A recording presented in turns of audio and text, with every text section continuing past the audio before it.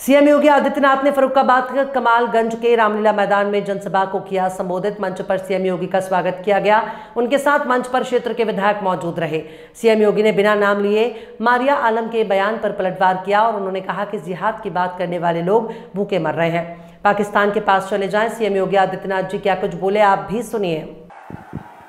भारत माता की, भारत माता की। भारत माता की। बंदे। बंदे। बंदे।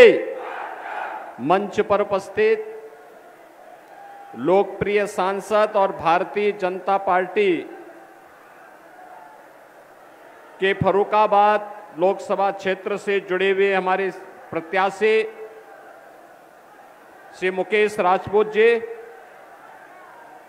भारतीय जनता पार्टी के जिला के अध्यक्ष रुपेश गुप्ता जी,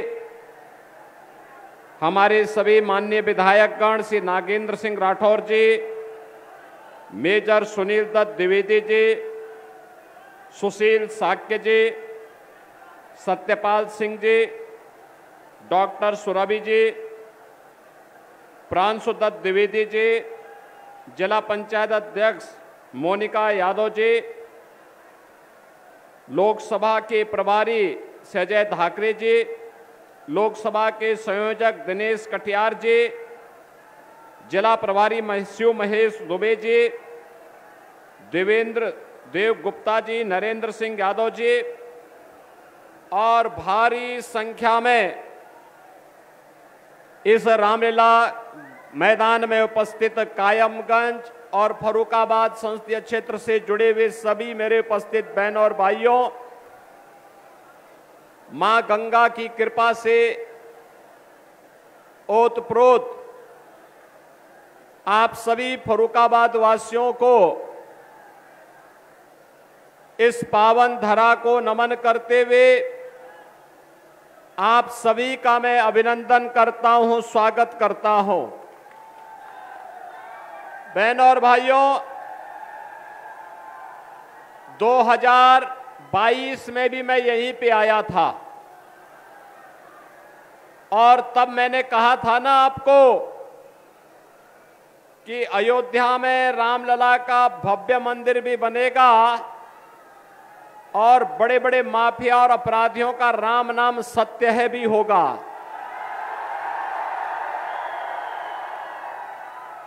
और राम नाम सत्य है कि गूंज की आवाज़ इतनी तीव्र है कि अब अच्छे अच्छे लोगों को भी, जिन लोगों को जब अवसर मिला था तो गरीबों के हकों पर तो डकैती डाली ही। दिव्यांग जनों को भी उन्होंने नहीं छोड़ा और उनको अब जेहाद की बात आने लग गई है। बहनों और भाइयों, भारत की धरती राम और कृष्ण की धरती है, भारत की धरती जेहाद की धरती नहीं है। और इसीलिए आज मैं आपसे आह्वान करने के लिए आया हूँ। आपका आह्वान करने के लिए आया हूँ, पूरे देश के अंदर जो इस समय लहर है, मैं अभी मध्य प्रदेश से महाकाल की धरती से आ रहा हूँ। पूरे देश के अंदर नौ राज्यों में प्रचार के लिए भी तक गया। और पूरे देश के अंदर आज जो लहर है, जो स्वर है, वह दो ही प्रकार की गूंज रही है। एक पूरे देश के अंदर हर जवान पर है कि फिर एक बार मोदी सरकार, फिर एक बार, फिर एक बार मोदी सरकार। और दूसरा है, जो राम को लाए हैं, हम उनको लाएँगे। बहन और भाइयों, आपने बदलते हुए भारत को देखा है। एक ऐसा भारत 2014 के पहले का और 2014 के बाद का भारत। 2014 का पहले का भारत दुनिया के अंदर विश्वास खो चुका था। अराजकता का शिकार था। आतंकवाद और नक्सलवाद से ग्रसित था। युवा पलायन करता था, अन्नदाता किसान आत्महत्या करता था। भ्रष्टाचार इस कदर था कि विकास की कोई भी योजना आगे नहीं बढ़ पाती थी। गरीबों को कोई भी शासन की योजना का, कोई भी शासन की योजना नहीं प्राप्त हो पाती थी।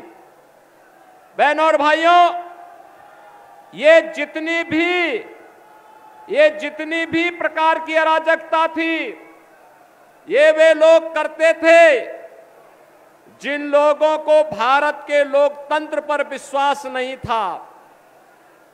जिन लोगों को देश के लोकतंत्र पर विश्वास था, वे मजबूती के साथ, एक भारत श्रेष्ठ भारत के इस कार्यक्रम के साथ जुड़ करके, भारत को मज़बूत बनाने के लिए आगे बढ़ते थे। लेकिन जिनको भारत की यह प्रगति अच्छी नहीं लगती थी, वे लोग हर योजना में भ्रष्टाचार ढूँढने का प्रयास करते थे। लेकिन 2014 के भारत को आपने देखा होगा।